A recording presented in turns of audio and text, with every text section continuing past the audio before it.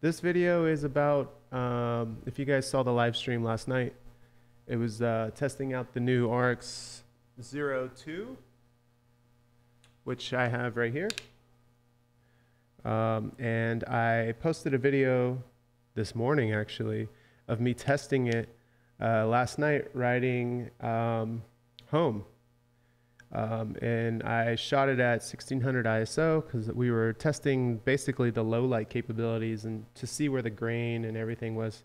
And I was actually really impressed with the low light conditions. Um, some things that weren't um, good, in my opinion, is the focal length for wearing the camera on the chest at that angle. It just isn't um, something that's appropriate, I feel. But I think this is the ideal focal length to wear up on a helmet. So that's what we're going to do today. We're going to, I'm going to show you the helmet I use. See that? It's a Hotline helmet. and uh, the gimbal attached to it and how I attach it to the helmet. And then the final piece is putting the camera on top of it and um, today I'm going to, I'm not going to film a hotline or anything because for these test videos, I, re- I really don't like to waste people's time with that kind of stuff. Um, I didn't really reach out to anybody anyways. So I'm going to go right into the city and I'm going to um, do like a chasing strangers. You know, I'm going to see what I can get into. I mean, we're in New York City here. So uh, you just step out the door and something's bound to happen. So um, let me put this camera back on the charger. It does need a little more charge.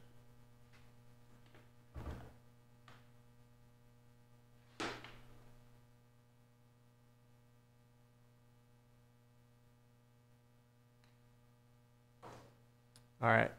So yeah, let's let me show you. First, let me start by just showing you the helmet and what I've done to it to make it, uh, uh, in my opinion, hold the gimbal better. So this helmet is a Bell Falcon MIPS. I'm in no way or shape or form um, sponsored or anything, or really even promoting this helmet. I mean, you can see it's got some dents and stuff because I've traveled with this helmet, and uh, when you pack it up with a bike, sometimes it gets banged around.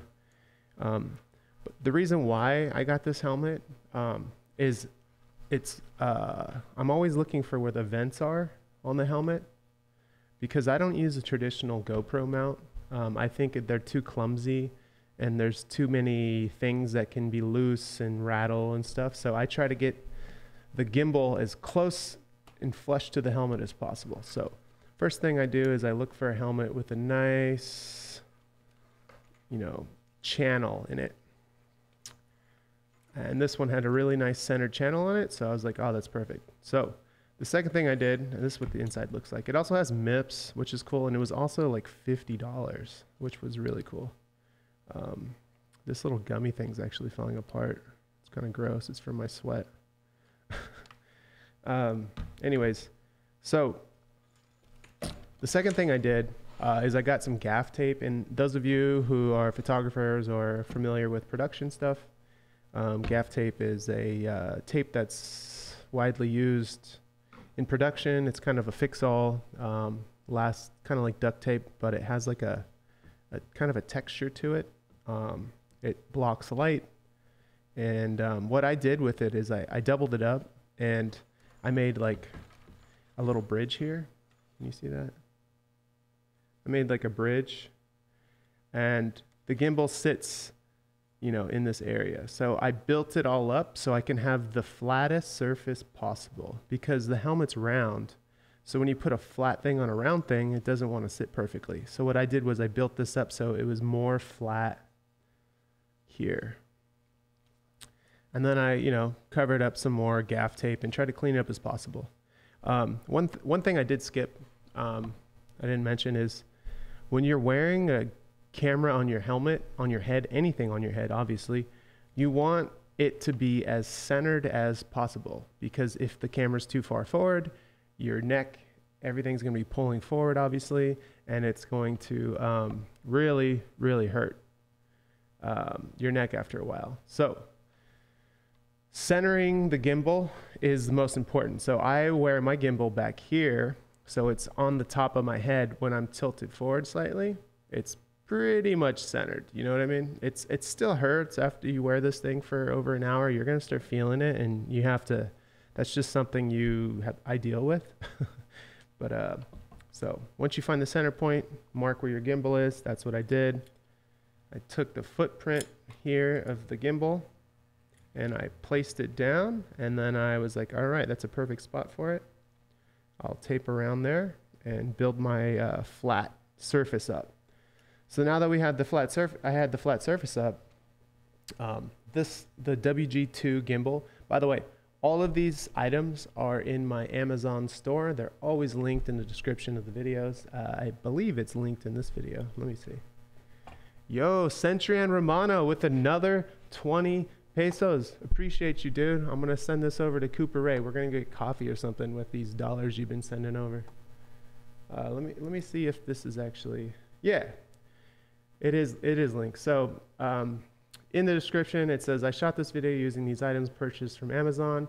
Obviously you guys are you're not new to YouTube. I you know anything you guys buy through Amazon, I get like a small cut or kickback on some of the stuff. So um, if you do buy anything, uh, check out those links. It does help the channel. But that's where you can find the link to this gimbal. You can find the link to other things that I've used. Um, this uh, adapter that, it's not even an adapter. It's it's actually a, a, a, new plate that goes on the WG2, and it accepts the RX Zero uh, with the quarter 20 screw here. So put the gimbal on here um, with the quarter 20 screw. And what I have here is the, a quarter 20 screw that actually screws into the other side of the gimbal. Now this side goes inside the helmet.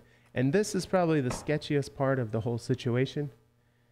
Um, it's because there's a screw in your helmet. So if you were to get in a crash, it's not the most uh, ideal thing uh, to be, you know, riding around with a screw in your helmet that's facing your skull. So keep that in mind. This is not, I don't recommend doing it this way. Uh, this is just the way I do it. And uh, if you guys find a better way to do it, then let me know. Um, this is the most secure way right now for me with this helmet.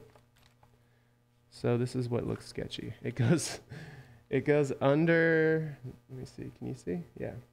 It goes under the MIPS and it looks, it looks pretty bad on camera, but the screw is actually a little bit further down than it looks here. Uh, it doesn't touch my head at all. Uh, and then you see the screw pops through there. And then this side hooks up to the gimbal.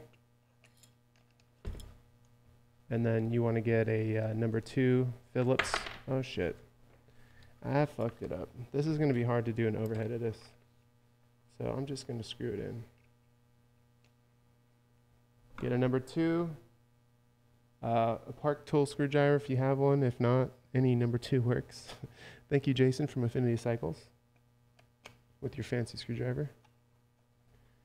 Uh, and I like to slide the gimbal.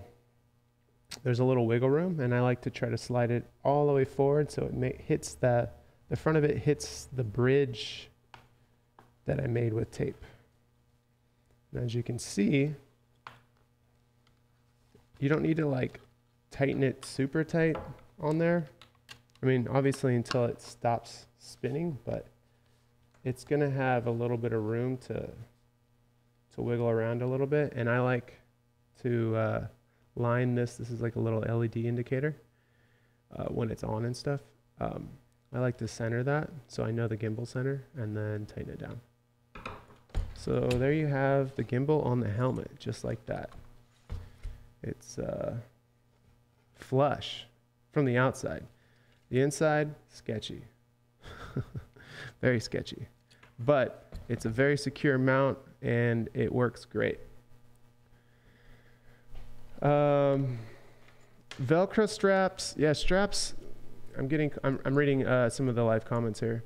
I've tried straps in the past. Um, the the mount. I know Safa uses straps on his helmet. Um, he has a, like a a mount that goes around, which is a good way to do it as well. Um, it just doesn't um, it doesn't hold on the helmet as sturdy, in my opinion. It gets more, there's more wiggle. So, um, so here is that. Now let me set up the um, the RX zero on it real quick. So you take the RX zero.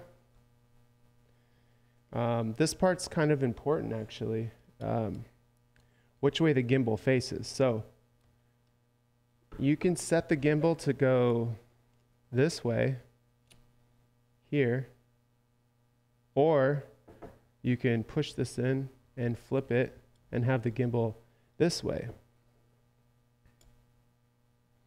It works either way. So if I was to plug in audio or power, if I have the gimbal set this way, you see how the, um, the 3.5 jack and everything is right here on the inside? When I do that, I can't plug things in properly. And it's actually uh, better to do it this way for me.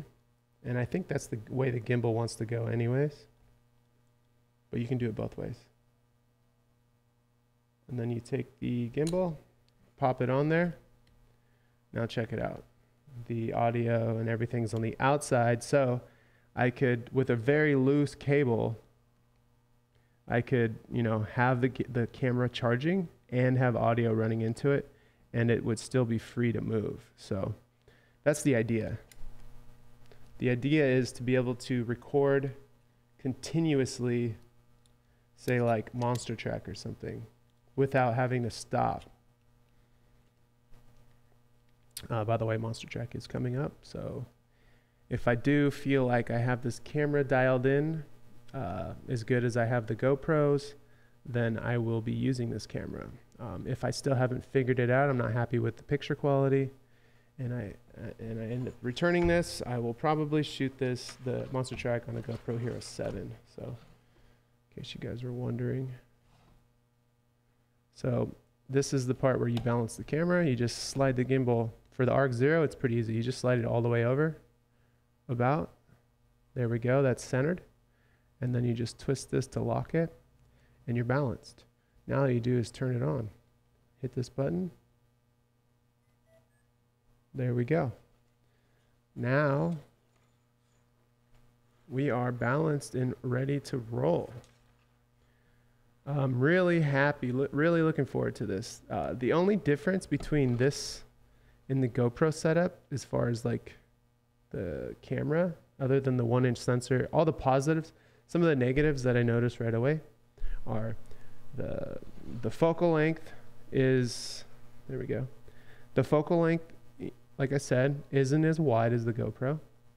And the lens, when I put the GoPro on, the lens on the GoPro is to the left. It's all the way here and it actually is center. This lens is slightly off, which is not going to be noticeable, I don't think. We're going to go test that now. But um, those are the two things that I noticed right away. But that's what it looks like. Um, that's all I really wanted to share with you guys. So um, if you guys have any questions, uh, you know, throw them in the in the comments there.